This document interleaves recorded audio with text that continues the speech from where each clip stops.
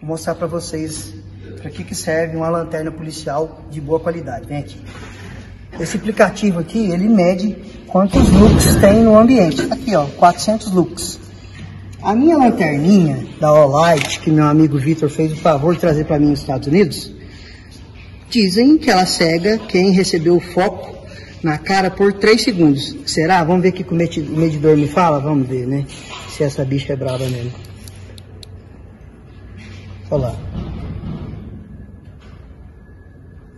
Estourou o gráfico lá.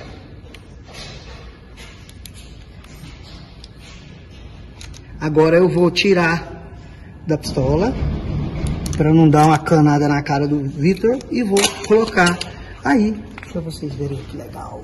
Para isso que serve lanterna. Não é só para iluminar, é para ofuscar o seu agressor também.